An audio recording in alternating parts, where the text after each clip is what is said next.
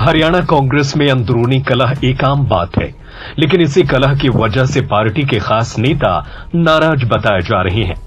दरअसल लोकसभा चुनाव के दौरान टिकट न मिलने से भूपेंद्र हुड्डा के समधी करण दलाल उनसे नाराज़ बताए जा रहे हैं। इसी को लेकर हुड्डा और उनके समधी करण दलाल में सियासी घमासान शुरू हो चुका है।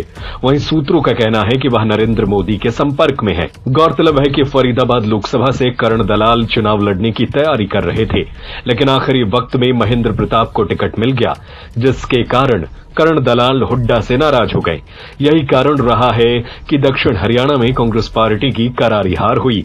वहीं फरीदाबाद लोकसभा की बात करें तो चुनाव से पहले कांग्रेस लड़ाई में दिख रही थी, लेकिन परिणाम आए तो एक तरफा कृष्णपाल गुर्जर की जीत हुई। वहीं सियासी गलियारों में चर्चा है कि हुड्डा के अरमानों पर खुद उनके समधी ने ही पानी फेर दिया। फरीदाबाद लोकसभा में भूपेंद्र हुड्डा से न सिर्फ़ उनके समधी बल्कि दामाद ने भी दूरी बनाई हुई है। बहरहाल, ये तो सभी जानते हैं कि सीएलपी लीडर भूपेंद्र हुड्डा के रिश्ते में करण दलाल समझी है। बता दें कि शुक्रवार को फरीदाबाद में कांग्रेस द्वारा कार्यकर्ता सम्मेलन का आयोजन किया गया, जिससे करण दलाल ने दूरी बनाई हुई है। ऐसे में अटकलों पर आपकी क्या राय है? कमेंट करके ज़रूर बताएँ। सत्य खबर, सत्य, सटीक, बेबाक।